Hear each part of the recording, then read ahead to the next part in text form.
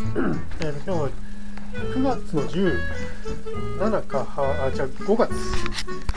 5月の17です。えっ、ー、と、今日は、ここを仕上げてちょっと移動します。なので、計画やっています。そして今日でこの二重窓ですね。二重窓とこの部屋を終わらせますね。はい。しっくりとかまでいければなと思います。で、忘れてた作業として、まあ、一応ですね、これを、えー、やりますね。まあ一応、これ、脆いんですよ。手つけると絶対バキッと抜いちゃうんで、まあ、一応これを、えー、ボンドでつけるんだけども、まあ、ボンドでつける前に一旦ここなんでかっていうとここがここからですね、まだ雨水が入ってくるとっていうので、まあ、一応雨水入ってこないようにするっていうことをするのでまず雨水入ったとしてもこう腐らないように、えー、クレオパワーを塗っておこうと思いますまずそこからスタートですね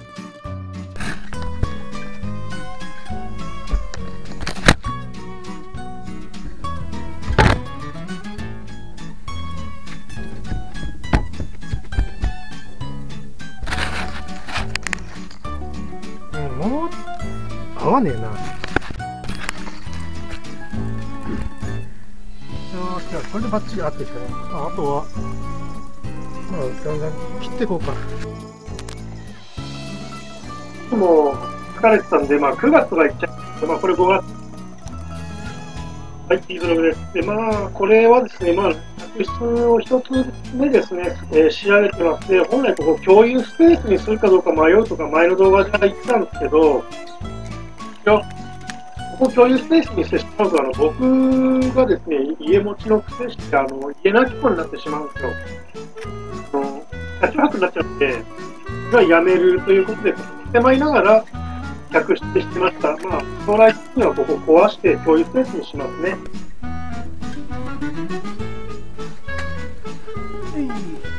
えー、まあ、クレオパワーを塗って、まあ、そこそこ乾いていったからいいかなと思います。で、次、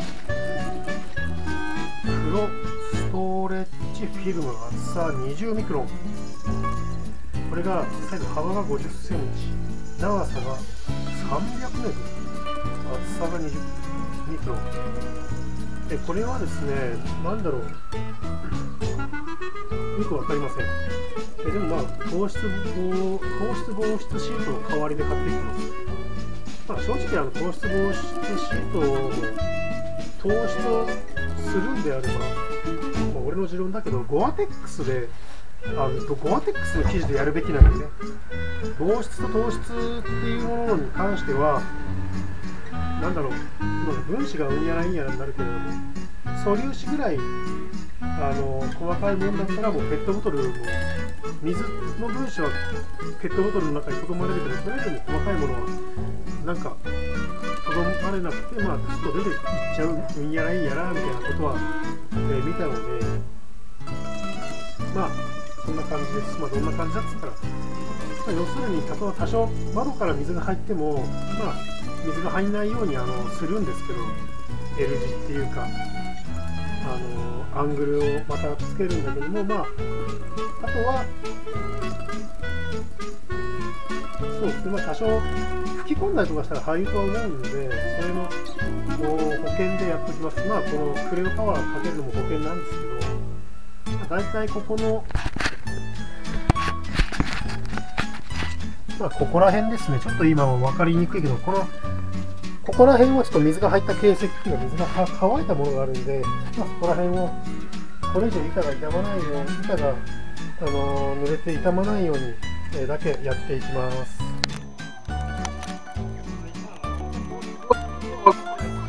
とりあえず喋ってみただけですね。で、まあ、えー、なんであのビニールシートが必要かって言ったら、まあ、この立て付けが、あのなかなか、この建物の中で、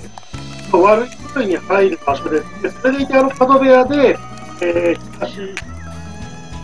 がなかなかいいので、まあ、足りないので、まあ、一応、木が腐らないようにだけ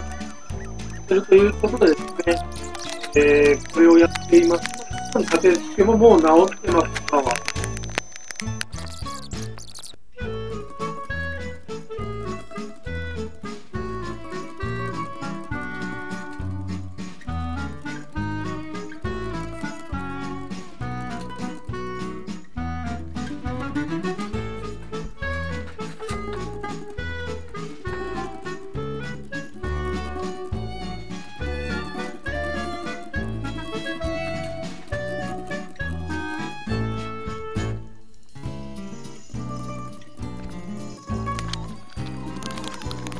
マグロ、マグロを買ってますね。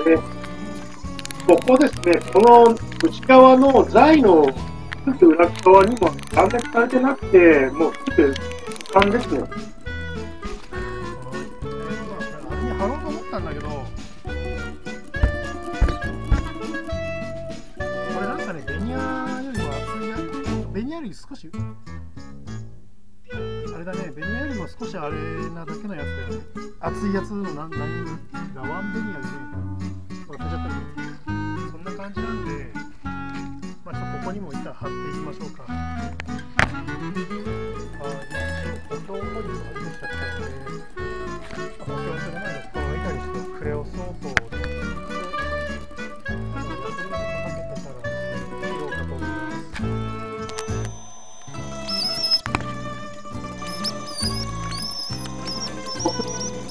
出てきたので、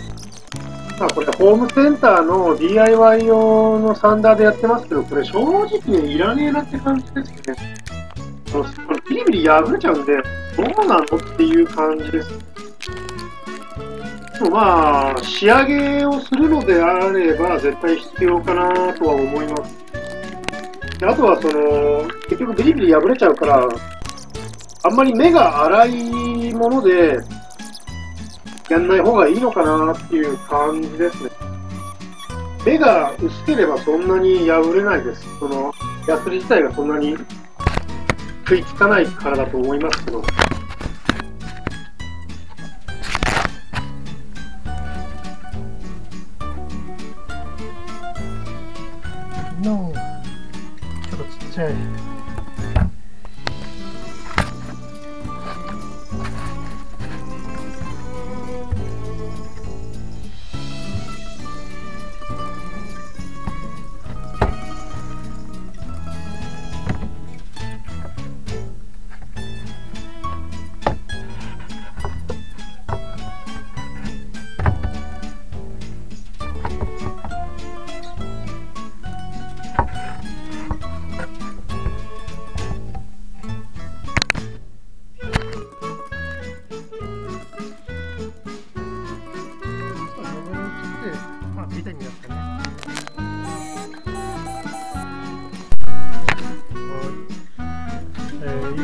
8時か。8時になっちゃったんで、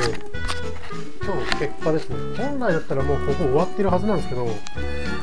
終わりませんでしたね。えーなんでかって、まあ、ここ、ここが一番ね、あれなのよ。風がビュービュー入ってきてたから、まあ、ちょっとここはこんな感じで密閉しました。で、あとは、まあ、ベニヤで蓋するのか、まあ、ベニヤ、もうあんまないからな、どうしようかなって感じだな。まあ、このまんまにするかだよね。あとは、引き出しかなんかね、収納を入れて隠すかって感じです。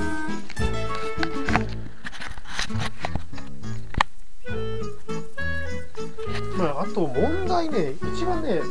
結局手止まったのはこれ、二重窓なんだよね。これやっぱりね、二重窓をこの一番手前でやると外気がここまで来るってことじゃん。だから、あったかくしたいから、一番外気を手前のところでシャットアウトするのに、あの、ちょっと前に出したいと思ったんで、また枠を作り、その枠の分の内窓を作るんで、えーそれでいきます。そんで、まあ、簡易内窓をまた作ります。発動ですね。えーなので、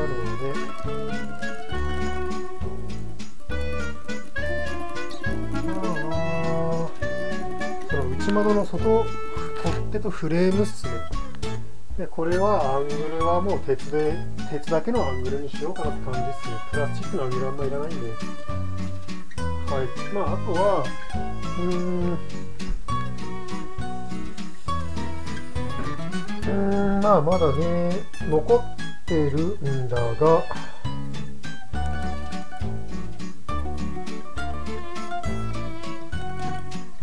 残ってるんだけれども。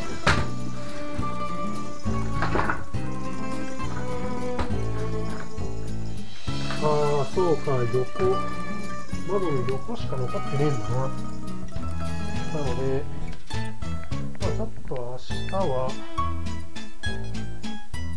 まあ窓枠材買ってくるかな。はい。まああとはそうだね。まあ一応先にここ漆喰でも塗ってしまうか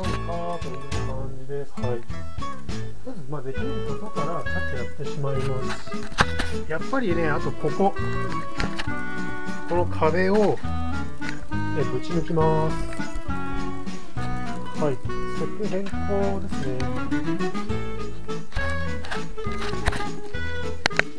まあ一応本来はこここっからカーサーここはまあ襖のレールがある通りここで仕切られててまあ大体超なんかわけのわからんこと考えててこここうやって Z の字であのやって仕切って部屋にしようと思ってでまあこの間の動画だとここ共有スペースにするから部屋は諦めると言ってたけど、まあ、部屋は諦めませんえーとですねまあ Z の通路をここですね。この石膏ボードを1枚抜いてここをまあここからあっちまでちゃんと壁で仕切ってここは部屋にします。部屋にできますね。はい。なのでそれだったらまあ全然大丈夫でしょう。あとは裏からもねここぶち抜いてそれで